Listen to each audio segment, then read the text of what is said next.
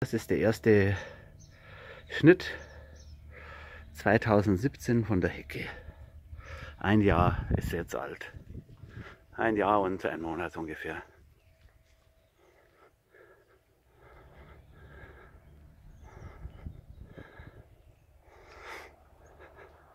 Nicht schön geschnitten an manchen Stellen sehe ich gerade, aber ist aber nichts. Vorne ist sie ein bisschen niedriger, weil da die Weide stand. Leider. Wächst aber noch. So, aber dafür ist sie hier schon schön hoch.